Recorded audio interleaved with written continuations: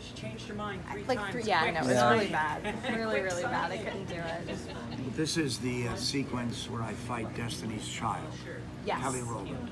Yes. And they, she had the number one hit in the world with Nelly. Yeah. yeah. She had to fly back from doing Top of the Pops in London. And she flew from London to Vancouver, shot, started shooting at midnight. She had a half a page monologue. She nailed it on the second take. Oh wow. You know, she's such a little pro, yeah. This is right after you call her Dark Knight.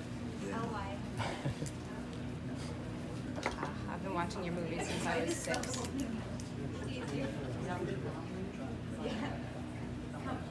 Yeah, I combine my uncle's name and my aunt's name. Do you have a favorite movie out of the franchise? I like uh, part seven. Me too. That's my favorite. New What's Nightmare. Yeah. Yeah. He becomes real.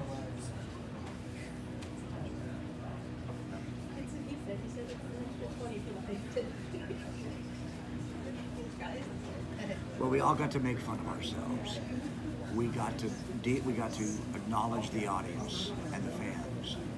And for me, it was great because just by accident and scheduling, I would get finished by like 11 or 12 or 1 every day. I'd be up at 4 in the morning, but I'd be taking the makeup off and I'd go out, get that free meal. There's Yeah. lunch for everybody. And I start, and, and John Saxon was there. And I would have lunch every day with John Saxon. And he would tell me Bruce Lee stories, Elvis Presley stories, Audrey Hepburn stories. He dated Natalie Wood and Sandra Dee.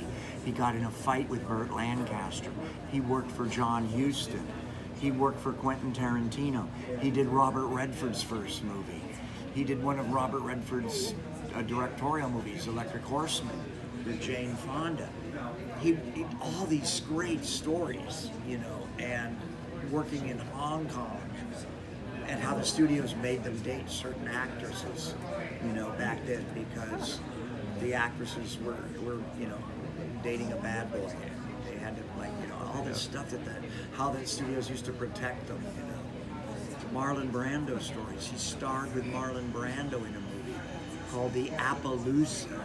He starred with Clint Eastwood in a movie. He starred with Robert Duvall in a movie. He had Western stories about working with Eastwood Duvall and, and Brando. With Brando for six months in Santa Fe, New Mexico in the early 60s. You know, That's cool. what that must have been like. Yeah, that must have been awesome. Yeah. Makes you feel like you're born too late. Then he told me about the movies he did in Europe, and he's one of the people that encouraged me to work in Europe a lot, which I do. Yeah. But it's so much fun. I read recently that he did a prequel screenplay. I Yeah, I don't know if that's true or internet shit, you know? Um, Don't believe a lot of on stuff the on there. It's like 50% of that stuff's not true, you know? Somebody has, you know, They're toting it on eBay. yeah. I wrote a script for part three. Really. for Dream Warriors, and it was I used the character of Tina, who died in part one.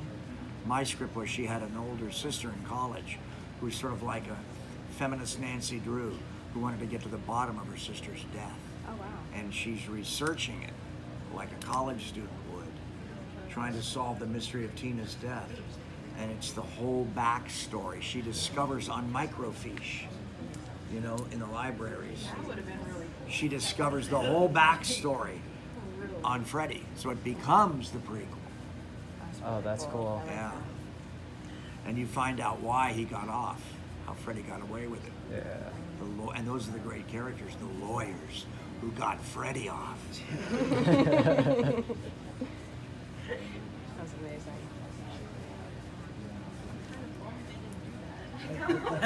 Well, parts of my script have showed up in other movies, but it, as, as they didn't go with the idea of the. I, I like the idea of getting an older girl. They still they wanted Heather back for part three.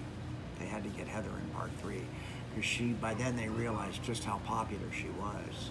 You know, she's really a symbol for a whole generation, uh, and she's a symbol.